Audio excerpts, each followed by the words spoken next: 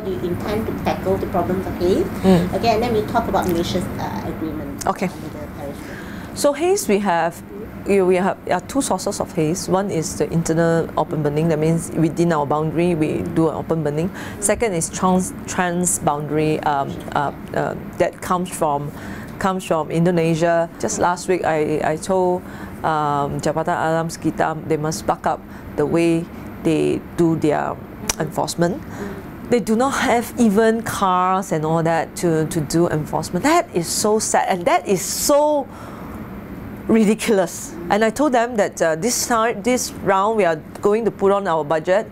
Uh, I'm shifting resources from the ministry to Jabatan Alam Sekitar so that they can perform their job at this moment. And then we also actually give notice to local councils, Bomba, Health Ministry, all the other ministries, uh, all, all the other agencies that can be agency for penyiasatan for us. The open burning is a tricky issue, but as a government, we cannot say that we cannot solve the problem.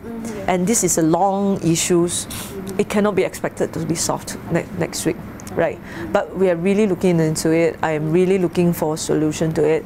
It is not as easy as you think because the culprit, after they do the open burning, they go, Yeah. they move everywhere. How do you find them? So we need to find a solution to catch the culprit, and then as much as possible to bring them to the court and make sure they get the penalty and the punishment that is by the law. I already told Department of uh, Environment that I want the enforcement to be strict and to be no no there is no uh, uh, compromise. But it takes some time. It, t- takes some time to strengthen the enforcement uh, machineries. But again I say no excuse. Uh, it is time for us to face the problem uh, but give us some time so for transboundary haze, I will do a press conference next week to Okay. tell about weather, mm, mm, okay. to tell about the weather trend and Okay. uh, why is it is a lower pos- probability this year than last year. Mm. It is lower, but it may still happen. Mm-hmm. So we also have an emergency plan. Ah, okay. So if it happens, what what we are going to do? Be meeting with the Indonesian authorities. Um, I am uh, trying to make a visit to them. I'll pay them a policy uh, or meet them in the ASEAN uh, ministers, uh, environmental ministers uh, meeting.